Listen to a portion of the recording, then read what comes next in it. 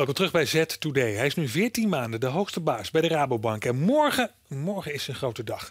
Dan moet Rabobaas Wiebe Draaier zijn toekomstplannen voor de bank bekendmaken. Er moet veel gebeuren bij de Rabo. Kosten moeten omlaag en Draaier moet antwoord geven op de vraag... hoe de Rabo nou het coöperatieve karakter van die bank kan behouden. Jeroen Smit, jij volgt de Rabo en Wiebe Draaier al een tijdje. Gaat hij morgen met zijn grote plan komen? Ja, ik denk het wel. Ik denk, eh, mooi ook de opening vanochtend van het Financiële Dagblad. Rabo snakt naar duidelijkheid. Hij is nu 14 maanden inderdaad bezig. Was toen een hele verrassende benoeming. Deze McKinsey-man, 22 jaar bij McKinsey. Kort even bij de SER gezeten, twee jaar. Maar echt Geen bankier? Echt zo'n adviseur. Zo'n buitenstaande relatief. Dus die benoeming was een verrassing. Um, uh, ik denk dat hij nu vaart gaat maken. Vooral ook omdat hij een belangrijk zeg maar in, de, in, de, in de governance van de Rabobank is er flink wat veranderd de afgelopen weken eigenlijk. Je hebt 106 lokale Rabobanken en die hadden tot voor kort eigenlijk een hoop macht. Die konden nee zeggen tegen van alles en nog wat. En dan konden ze in Utrecht op de centrale van alles bedenken. Maar dan kon zo'n lokale Rabobank zeggen: mooi dat jullie het bedacht hebben. Doen het niet. Maar wij gaan het hier anders doen. Nou, dat uh, is nu echt veranderd. En dat heeft vooral ook met toezicht te maken. De Nederlandse bank, de toezichthouder, vond dat de Rabobank hè, met alle onzekerheden, risicobeheer en alle.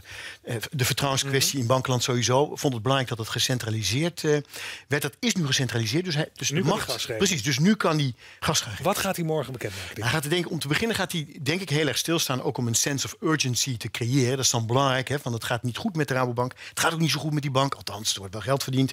Maar een stuk minder als je dat vergelijkt met, met de andere banken. Het rendement op geïnvesteerd vermogen is een iets meer dan 5% over 2014 in ieder geval. En dat is heel grofweg de helft van wat bijvoorbeeld ABN AMRO en ING doen. En als je naar het kostniveau kijkt van de banken, is er een staartje van gemaakt.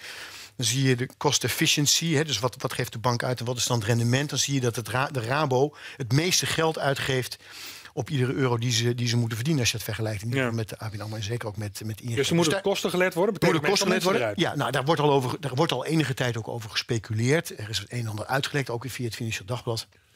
Uh, en daar, daar, in die stukken zou gewezen worden op dat er al zo'n 8000 mensen uit moeten de komende vier jaar. Nou, dat is een kleine 20 procent ja, van de zelf er ook op geïnt, hè, bij halfjaarcijfers ook al Ja. herinneren dat ze ook al Ja, ja. ja. voor, voor gesorteerd hebben. Ja, dus, da- dus daar, ehm ja, daar, daar ontkomen ze aan de kostenkant. Nou, we zagen het net, is aan de hoge kant. En eh, ook daar zal robotisering en automatisering Maar natuurlijk een rol hij zal, hij zal ook een soort visie moeten. Nou, moeten- precies. Ja, dat is goed. Ja. Nou, ja, kijk, eh, hier ligt zijn hart. Dat is ook typisch zo'n. eh, eh, over, die, over die horizon proberen heen te kijken. En wat ik denk dat hij gaat aankondigen, wa- wat de kern van zijn boodschap zal zijn, iets in de trant van.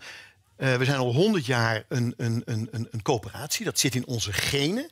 Een coöperatie van boeren in der tijd. Die een overschot van melk tekort, overschot geld tekort. dat bij elkaar brengen in een coöperatie. En elkaar op die manier eh, een, eh, de helpende hand geven.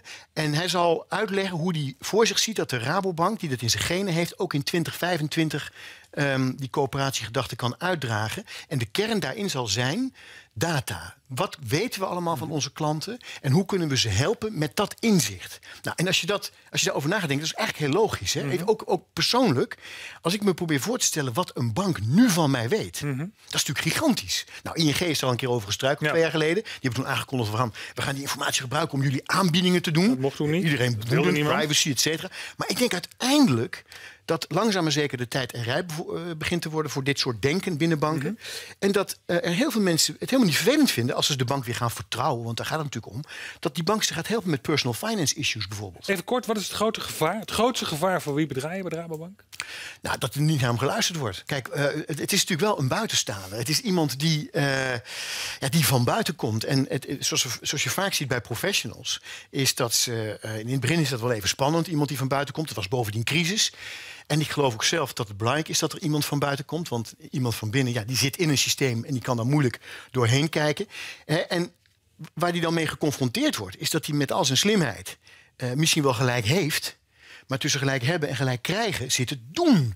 En dan is een adviseur iemand die altijd in principe ophoudt bij het advies van jongens, dit is mijn recept. Ja. Succes ermee. Nu moet hij uitvoeren. Nu moet hij gaan uitvoeren. En ik denk dat hij daar wel, enfin, dat hij er wel zin in heeft hoor. Dat hij zoiets heeft van ik ga het nu doen. Hij heeft Barbara Baarsma net ook wel spectaculair. Mooie benoeming. Oud-directeur van het eh, Stichting Economisch Onderzoek. Economen, slimme economen. Strenge economen ook. En die heeft hij verantwoordelijk gemaakt voor het eh, directeur kennisontwikkeling. Mhm. Zij wordt verantwoordelijk voor het ervoor zorgen dat de kennis die binnen die Rabobank nu nog verspreid aanwezig moet is. zijn boodschap ook kunnen Precies. implementeren. Dat wordt Ja. een uitdaging. voor Ja, wordt heel We spannend. gaan het zien morgen. Dankjewel, Jeroen.